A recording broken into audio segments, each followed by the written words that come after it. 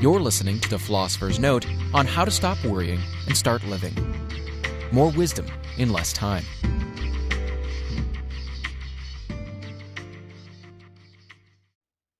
Hi, this is Brian. Welcome to the Philosopher's Notes on how to stop worrying and start living. Time tested methods for conquering worry by Dale Carnegie. We'll start with the quote No one living has enough emotion and vigor to fight the inevitable and, at the same time, enough left over to create a new life. Choose one or the other. You can either bend with the inevitable sleet storms of life or you can resist them and break. Again, that's Dale Carnegie from How to Stop Worrying and Start Living. So, Dale Carnegie rocks, in my opinion. If you've read How to Win Friends and Influence People, you've been exposed to his laid back, tell it like it is style. Same with this book. So, if you've got a little more worry in your life than you'd like, and who doesn't, huh? Then I think you'll really love this book and note. It's packed with goodness, and I'm excited to jump right in. So, let's. First big idea is what worry may do to you. Quote 70% of all patients who come to physicians could cure themselves if they got rid of their fears and worries. End quote. It's a pretty powerful stat, huh? So, why should you care about stopping your worry habit? Well, in addition to the fact that being a worrier makes you a bummer to be around, sorry to break that to you, you're destroying your health, reducing your energy today, and trimming years, if not decades, off your life. Carnegie quotes a Dr. Montague who says, You do not get stomach ulcers from what you eat, you get ulcers from what is eating you. And a Dr. Alexis Carrel who says, Those who do not know how to fight worry die young. Then he quotes some philosopher guy named Plato who says the greatest mistake physicians make is that they attempt to cure the body without attempting to cure the mind. Yet the mind and the body are one and should not be treated separately. All right, so you don't need any more convincing on the why, right? Time for the how to stop worrying. Here's the next big idea live in day tight compartments. Quote, So let's be content to live the only time we can possibly live, from now until bedtime. Anyone can carry his burden, however hard, from now until nightfall, wrote Robert Louis Stevenson. Anyone can do his work, however hard, for one day. Anyone can live sweetly, patiently, lovingly, purely, till the sun goes down. And this is all that life really means. End quote. So that's chapter one in a nutshell. Live in day tight compartments. Carnegie's a bit of a quote machine like me and goes from Jesus to Montaigne and Dante to Carlyle. Jesus says, Have no anxiety for the tomorrow. Montaigne says, My life has been full of terrible misfortunes, most of which never happened. Dante says, Think that this day will never dawn again. And Carlyle, our main business is not to see what lies dimly at a distance, but to do what lies clearly at hand. And Horace says, Happy the man, and happy he alone, he who can call today his own. He who, secure within, can say, Tomorrow, do thy worst, for I have lived today. So again, the big idea is, quote, shut the iron doors on the past and the future live in day tight compartments and ask yourself these questions. These are all from Dale Carnegie. He says, quote, Number one, do I tend to put off living in the present in order to worry about the future or to yearn for some magical rose garden over the horizon? Two, do I sometimes embitter the present by regretting things that happened in the past that are over and done with? Three, do I get up in the morning determined to seize the day, to get the utmost out of these 24 hours? 4. Can I get more out of life by living in day tight compartments? And 5. When shall I start to do this? Next week? Tomorrow? Today? End quote. So those are great questions to reflect on as you ponder how to stop worrying and start living. You might want to rewind that and listen to them again and do some journaling and thinking on them. Um, and by the way, the answer to number five is today. now is always a good time to start taking the action you know is consistent with your highest self. All right, back to the big ideas. The next one is be willing to have it so. Quote Professor William James, the father of applied psychology, has been dead since 1910. But if he were alive today and could hear this formula for facing the worst, he would heartily approve of it. How do I know that? Because he told his own students, quote, Be willing to have it so. Be willing to have it so, he said, because acceptance of what has happened is the first step in overcoming the consequences of any misfortune. So, have you read Loving What Is by Byron Katie? It's a brilliant book, and I think you'll love the notes on them if you haven't read them yet. The basic idea is uh, this. She says, quote, I realized that it's insane to oppose it. When I argue with reality, I lose, but only 100% of the time. I love that.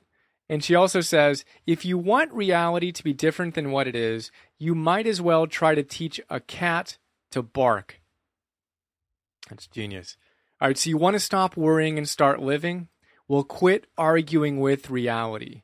Or, in the words of William James, be willing to have it so.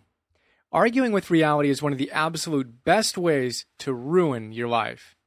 As Deepak Chopra says in his great book, The Seven Spiritual Laws of Success, and I have notes on those as well. He says, quote, This means that your acceptance of this moment is total and complete. You accept things as they are, not as you wish they were in this moment. This is important to understand. You can wish for things in the future to be different, but in this moment, you have to accept things as they are. End quote. Of course, in challenging times, we want a better future, whether that's five seconds from now or five days or weeks or years. But we must accept what is. From that place, the tension melts, the worry evaporates, and we connect to Source and have all the strength we need to embrace the moment and take the next constructive step toward creating our ideal lives. And the best part? We can enjoy this moment, no matter how challenging it is. As Marcus Aurelius says in his classic Meditations, again, you can see the notes on that, quote, So here is a rule to remember in the future. When anything tempts you to feel bitter, not this is a misfortune, but to bear this worthily is a good fortune. End quote. Next big idea decide and rock it. Quote, experience has proved to me, time after time, the enormous value of arriving at a decision. It is the failure to arrive at a fixed purpose, the inability to stop going around and round in maddening circles, that drives men to nervous breakdowns and living hells. I find that 50% of my worries vanishes once I arrive at a clear, definite decision. And another 40% usually vanishes once I start to carry out that decision. So I banish about 90% of my worries by taking these four steps. One, writing down precisely what I'm worried about. Two, writing down what I can do about it. Three, deciding what to do. And four, starting immediately to carry out that decision. End quote. I give that an amen. So uh, in the note here, I have some little space I've created where you can journal. I would suggest you think about these four questions if you're stressed about something. Number one, what's stressing you out right now? Write down, I am stressed out about, and write it down. Or think about it if you're driving or running or juicing or whatever. Number two, what can you do? I can do this about what's stressing me out. Think about that. What can you do about what's stressing you out? And number three, what will you do? I will do this. I'll take this action in order to deal with what's stressing me out. And number four, very good. Now do it. Take action now. Don't wait. That's where the worry comes in. Take action now. So, again, one, write down precisely what you're worried about. Write down what you can do about it decide what you're going to do and start immediately to carry out that decision. Really cool stuff on how to stop worrying and start living. All right. The next big idea is don't cry over spilt milk. This is a long quote from Dale Carnegie. I'm going to share it because it, it so perfectly captures my uh, ethos here with the philosopher's notes. He says, quote, Some readers are going to snort at the idea of making so much over a hackneyed proverb like, don't cry over spilt milk. I know it is trite, commonplace, a platitude. I know you have heard it a thousand times. But I also know that these hackneyed proverbs contain the very essence of the distilled wisdom of all ages. They have come out of the fiery experience of the human race and have been handed down through countless generations. If you were to read everything that has ever been written about worry by the great scholars of all time, you would never read anything more basic or more profound than such hackneyed proverbs as, Don't cross your bridges until you come to them, and Don't cry over spilt milk. If we only applied those two proverbs instead of snorting at them, we wouldn't need this book at all. In fact, if we applied most of the old proverbs, we would lead almost perfect lives. However, knowledge isn't power until it is applied. And the purpose of this book is to remind you of what you already know and to kick you in the shins and inspire you to do something about applying it. That is genius. We all seem to want the fancy new techniques or the check me out, I'm really smart intellectual philosophies. But I love the good old fashioned obvious truths. And I equally love the way Carnegie puts it here. Quote, knowledge isn't power until it is applied. And the purpose of this book is to remind you of what you already know and to kick you in the shins and inspire you to do something about applying it. End quote. That seriously sums up pretty much my intention with these notes, move my foot up from a kick in your shins to a kick in your butt, and I think we're there. so, two things. Number one, specifically about worry. What spilt milk are you worrying over? What in your past are you still ruminating about, complaining about, losing sleep over, etc.? The relationship, the family argument, the job, the missed opportunity, the whatever. When exactly do you plan to move on? Now might be a very good time for that. And uh, the second thing, what piece of wisdom do you know to be true, but for whatever reason you have yet to embody? Remember, knowledge isn't power until it's applied. So, what's the knowledge you need to apply? And when do you plan to apply it? Again, now is always good. So, again, in this note, I have a little area for you to journal because this is so important. Knowledge I know, but have yet to apply. And I've got a few lines here. So think about that if you're not in front of your uh, piece of paper. Knowledge that you know, but for whatever reason you have yet to apply. What is that for you? All right. And when will you start to apply this knowledge? I actually filled that answer in for you here in the note. The answer is, of course, now. All right. The next big idea rest before you get tired. Quote, so to prevent fatigue and worry, the first rule is rest often. Rest before you get tired. Carnegie gives us a chapter full of the benefits of using relaxation as a means to reduce worry, and the fact that preventing fatigue is a huge step toward preventing worry. He starts by making the point that it's impossible to be totally relaxed and worried at the same time. Impossible. That alone is enough advice to solve most of our worry. So if you're stressed, relax.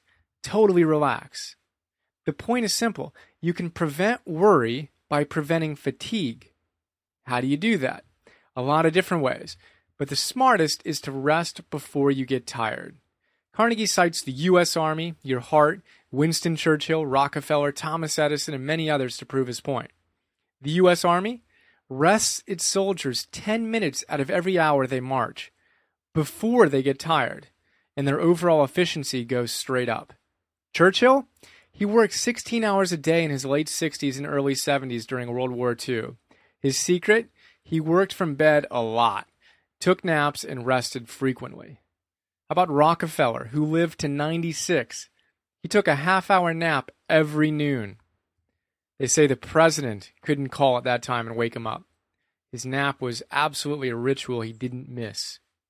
Edison attributed his enormous energy and endurance to his habit of sleeping whenever he wanted to. And how about the coolest example, perhaps? Your heart. As Carnegie says, quote, your heart pumps enough blood through your body every day to fill a railway tank car. It exerts enough energy from every 24 hours to shovel 20 tons of coal onto a platform three feet high. It does this incredible amount of work for 50, 70, or maybe 90 years. How can it stand it? Dr. Walter B. Cannon of the Harvard Medical School explained it. He said, quote, Most people have the idea that the heart is working all the time. As a matter of fact, there is a definite rest period after each contraction. When beating at a moderate rate of 70 pulses per minute, the heart is actually working only 9 hours out of the 24. In the aggregate, it rests for a total of 15 hours per day. End quote. Isn't that amazing? So, how about you? Are you taking enough rest? If you're worried, check in and see if you're also fatigued. And then know that it's impossible to be totally relaxed and worried. So, get relaxed. And when I was writing this note, I said, "Speaking of which, it's time for my 9:30 a.m. meditation." Seriously, I'll be right back. It's funny because it's actually 9:30 a.m. right now. I'm going to finish this note and then do my meditation. All right, so more on fatigue. Quote Psychiatrists declare that most of our fatigue derives from our mental and emotional attitudes. What kinds of emotional factors tire the sedentary or sitting worker? Is it joy, contentment? No, never.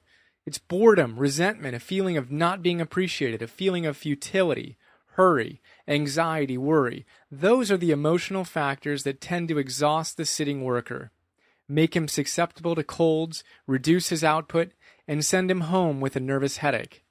Yes, we get tired because our emotions produce nervous tensions in the body. Moving on to the next big idea. So, the answer to fatigue. Quote, what is the answer to this fatigue?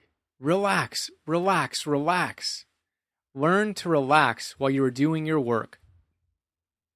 End quote. All right, so how about some how to's on relaxing? We've got four of them here. One, relax in odd moments. Let your body go limp like an old sock. That's how Carnegie puts it. And Carnegie says he keeps an old maroon dress sock on his desk to remind himself to relax. I love that image. Number two, quote, work as much as possible in a comfortable position. End quote. So, 10 years ago, when I was a stressed out 25 year old CEO with 45 employees who'd raised $5 million to finance my first business, eteamz.com, during the dot com boom of the late 90s, I used to get what I'd call Frankenstein. my neck wouldn't move because it was so tight. And I realized that all the tension was adding up and was exacerbated by the fact that I had my computer monitor set up so I had to look to my right while typing. Not comfortable. In fact, it was pretty dumb. So, do you look straight at your computer monitor? If not, please fix that today. Seriously, get comfy and relax while you work. All right, number three, quote, check yourself four or five times a day and say to yourself, Am I making my work harder than it actually is? Am I using muscles that have nothing to do with the work I'm doing? I love that. I often set up my stopwatch's timer to repeatedly count down from 30 minutes. When it beeps, it's a brilliant reminder for me to pause, stretch out quickly, shut my eyes, breathe deeply, relax, say a few mantras, and do a quick recharge. You might dig that. It's amazing to see just how much tension we can build, even doing stuff we love. So, why not set your stopwatch to count down from 30 minutes or two hours, whatever works for you, and try that out? Remember to relax regularly throughout the day. And number four, quote, test yourself again at the end of the day by asking yourself, just how tired am I? If I am tired, it is not because of mental work I have done, but because of the way I have done it. So know that if you're cranky, that's the end quote. Know that if you're cranky or tired, it's because of the tension you allowed to build up during the day. Relax. Breathe, crumple yourself up like an old sock, and keep the fatigue and worry away. The next big idea, we've got two more here. The next big idea is other people aren't thinking about you. Quote, I realize now that people are not thinking about you and me or caring what is said about us. They are thinking about themselves before breakfast, after breakfast, and right on until 10 minutes past midnight. They would be a thousand times more concerned about a slight headache of their own than they would about the news of your death or mine. End quote. That's awesome and so true. Tim Ferriss, in his great book, The Four Hour Work Week, says something along the lines of, quote, Don't worry about what other people think. They don't think that often anyway. Pretty funny.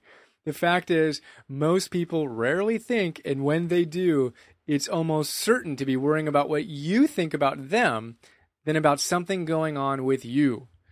So, a key way to stop worrying and start living Get totally independent of the good or bad opinion of others. And the final big idea is get busy. Quote, George Bernard Shaw was right. He summed it all up when he said, The secret of being miserable is to have the leisure to bother about whether you are happy or not. End quote. This is still Carnegie. He says, So don't bother to think about it. Spit on your hands and get busy. Your blood will start circulating your mind will start ticking, and pretty soon this whole positive upsurge of life in your body will drive worry from your mind. Get busy. Keep busy. It's the cheapest kind of medicine there is on this earth, and one of the best. End quote. That is classic. So, are you giving yourself the leisure time to be miserable? Well, spit on your hands and get to work on something constructive already, will you? Of course, we need time to reflect and envision our ideal lives, but be careful lest you spend too much of that time in anxiety. If you find yourself worrying, go back up there to the four step worry busting formula, or rewind in this case, and rock number four. That was the just do it part. And stop worrying and start living. All right, well, that's the note. I'm now going to give you a quick blurb on Dale Carnegie, the author of How to Stop Worrying and Start Living. And then I'm going to read the quotes from the sidebar, and uh, you'll be set. So, Dale Carnegie was born in 1888 and lived until 1955. He described himself as a simple country boy from Missouri, but was also a pioneer of the self improvement genre. Since the 1936 publication of his first book, How to Win Friends and Influence People, he's touched millions of readers, and his classic works continue to impact lives to this day. So here's some quotes. You've heard this one before. God, grant me the serenity to accept the things I cannot change, the courage to change the things I can, and the wisdom to know the difference and a couple from Dale Carnegie who says, Let me repeat do what the Army does, take frequent rests. Do what your heart does, rest before you get tired, and you will add one hour a day to your waking life. And another from Carnegie I know with conviction beyond all doubt that the biggest problem you and I have to deal with, in fact, almost the only problem we have to deal with, is choosing the right thoughts.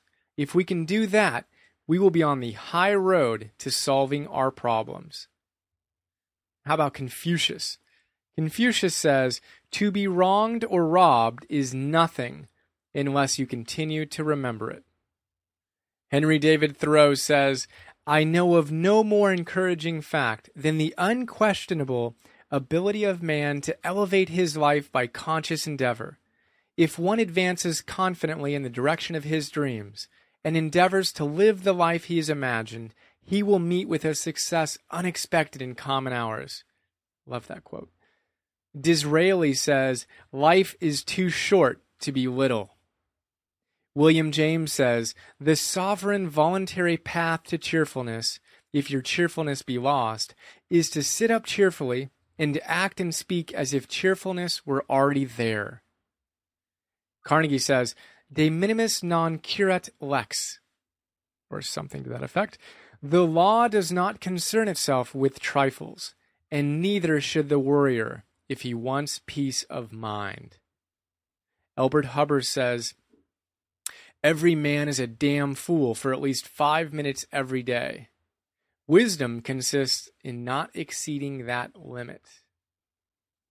Milton says, The mind is its own place, and in itself can make a heaven of hell, a hell of heaven. Carnegie says Epictetus, the great Stoic philosopher, warned that we ought to be more concerned about removing wrong thoughts from the mind than about removing tumors and abscesses from the body.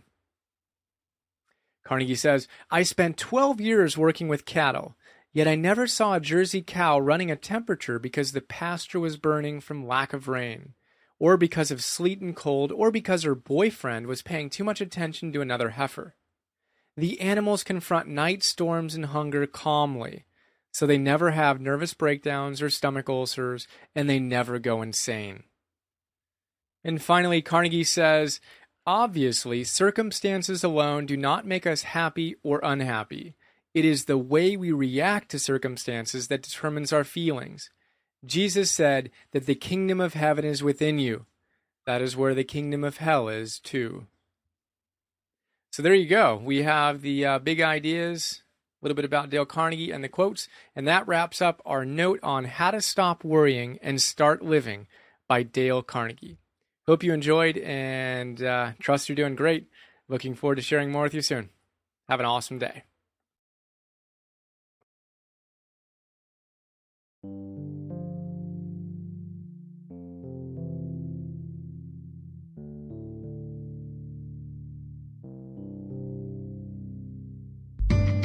Hope you enjoyed this Philosopher's Note. Please go to www.philosophersnotes.com to download more.